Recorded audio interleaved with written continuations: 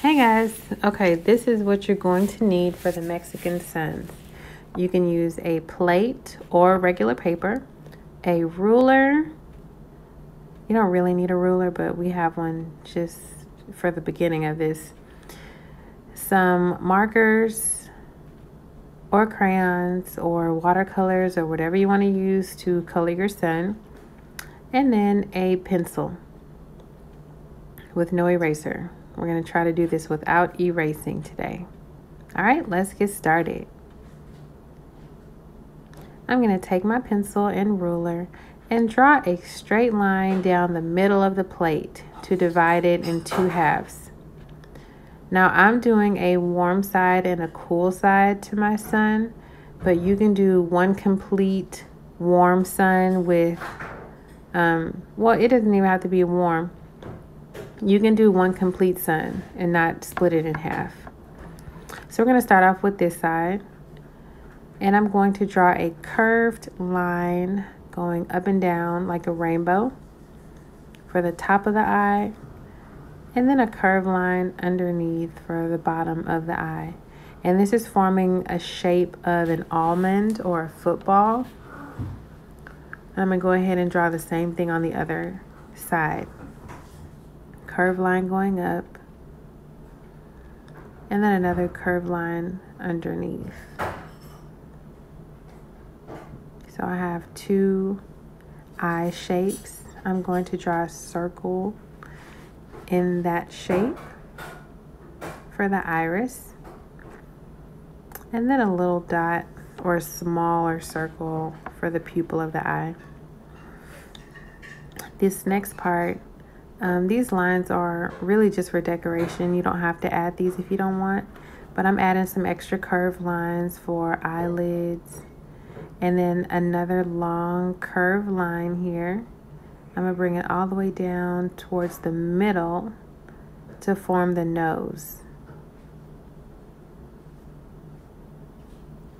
I'm going to go ahead and complete this half. I'm going to add a circle, which is a, a round curved line starting at one point and you bring that curved line to meet the starting point. That's going to be my cheek for the sun and now I'm working on the lips. I'm going to draw a slightly wavy line going out, a curved line underneath that with the ends touching and another curved line going up to meet those ends. And that made a top lip and a bottom lip for me. So let me come to the other side and draw another curved line above the eye for the eyelid. And then that long curved line going down for the nose. And as you can see, the two sides do not look perfectly even. That's okay. We're going to be coloring the whole thing. So it does not have to look exactly the same.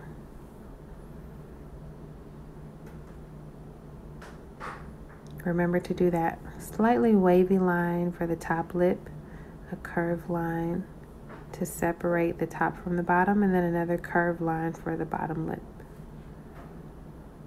All right, so my face pretty much looks complete. Doesn't matter about that little mistake on the eye, it's okay. Let me add the circle for my cheek. And there you have it. You have your eye, the shape of the eye, which is like a football, the curved line for the nose.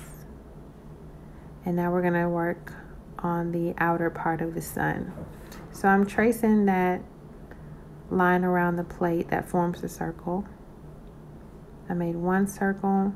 I'm going to make a second one slightly above that first line. Take your time with this part so that your line stays even and straight. If you make a mistake, it is okay. We're going to be coloring this. So continue to draw your line. You can turn your plate to make it a little easier. And make that line meet at the starting point. Okay, so I have an outer circle, and now I'm going to make an inner circle.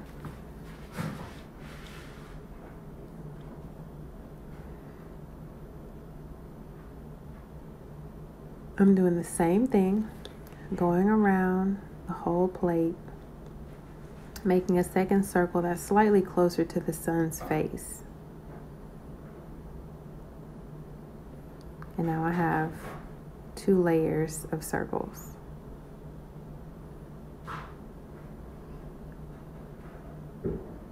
Okay, and then this last part that I'm going to draw out are the triangles that kind of represent the sun's rays. And I'm going to take these triangles all the way around the plate, taking my time so it doesn't come out sloppy. And notice that I'm doing one triangle at a time and not a zigzag line. So that's my final triangle. And now it's starting to look more like a Mexican sun. We have both sides complete.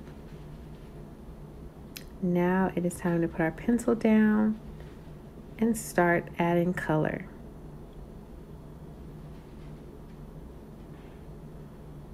I'm going to be using markers so it's nice and vibrant and bright. We're going to start off with the warm colors and red, yellow, and orange, or red, orange, yellow. These are our warm colors, and you usually see them during a sunset or when something is associated with warm or hot things. And I'm going to use these colors for the whole half of this inside of the plate, not the triangles, but just the inside of the face. You don't need to use these colors in any particular order. This is just my design. And I'm going to start filling in these sections with color and designs. Trying to use all of my warm colors for this side of the face.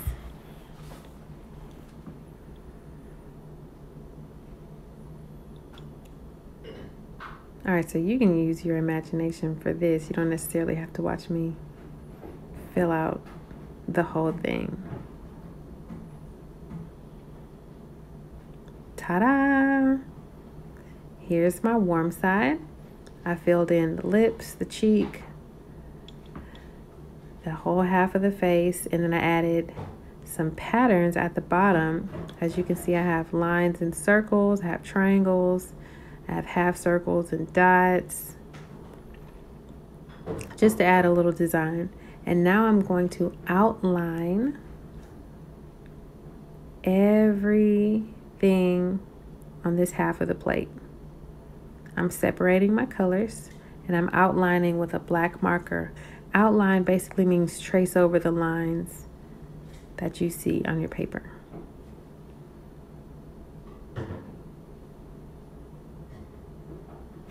And this kind of makes the colors pop.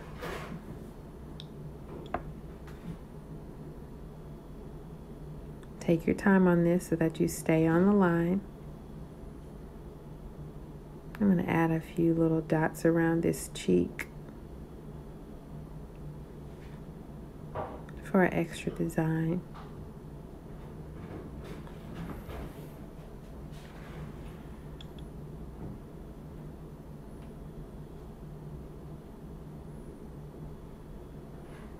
outline everywhere where you have a line, separating the two colors. All right, looks pretty good. Uh, let me outline the eye.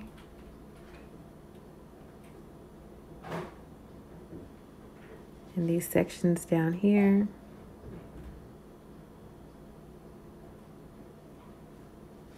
Taking my time so I stay within the lines.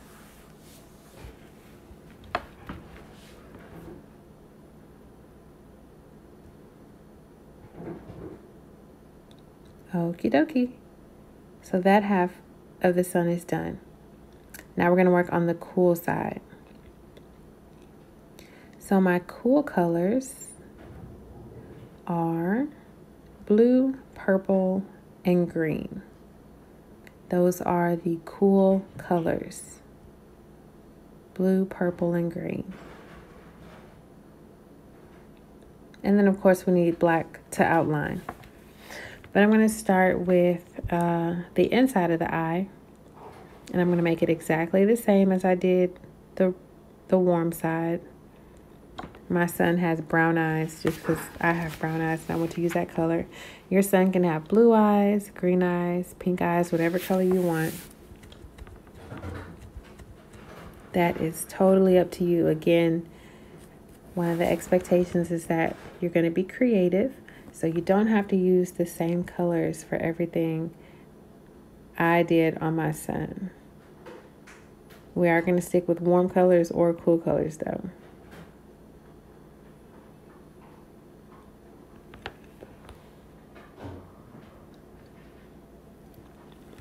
So I'm going to go ahead and outline that and then start adding the color and designs with my cool colors. And one trick to help you um, stay in the lines and color neatly is to outline the section first. So trace over the line and then start coloring inside that line. And remember to color in one direction. I'm going to stay in this up and down motion until I cover up the whole section. We don't want to go side to side and then up and down in the same section. Try to color in one direction. Okay. Ta-da! So I have my warm side and my cool side with the designs at the bottom. Now I'm going to start on the outer circle. And I'm going to start by tracing my circle with a marker, with a black marker.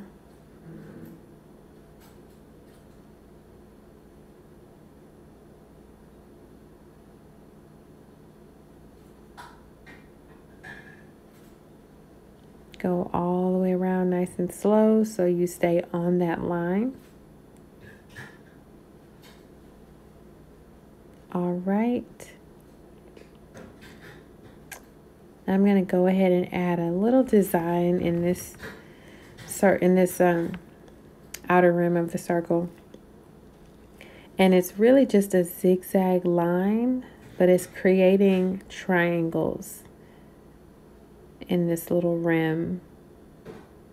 But you have to make sure your zigzag line touches both lines in order for it to create the triangle, the triangles.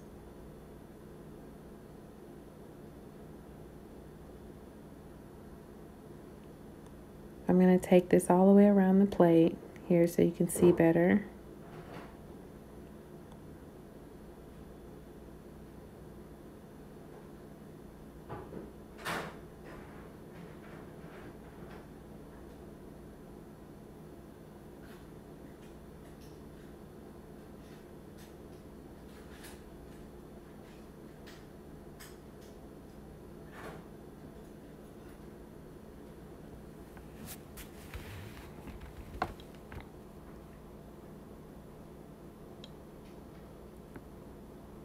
Make sure you're turning your paper as you go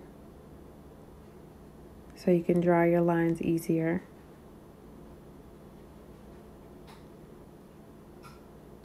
And be sure to take your time so your work looks nice and neat.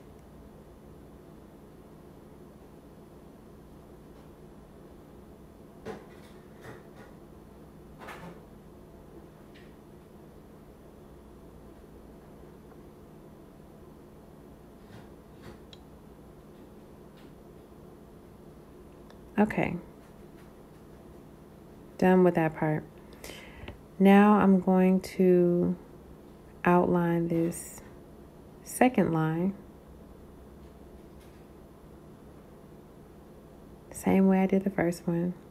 I'm going to go all the way around nice and slow so I stay on that line.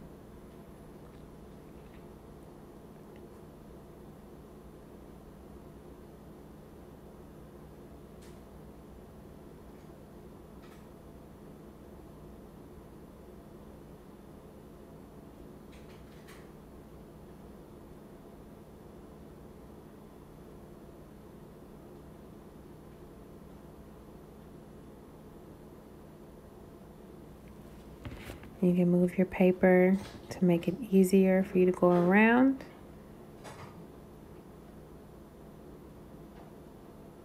And I came back to the top to finish off the circle.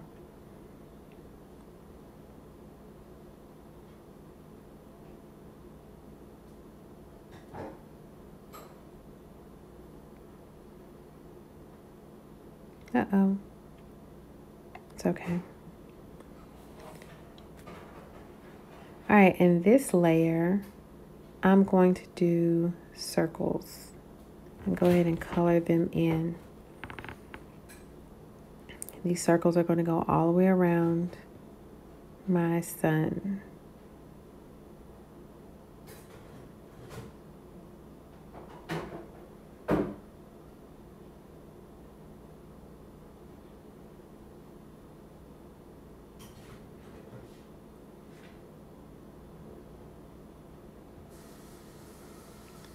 Bam. Look at that. So I have my circles going around.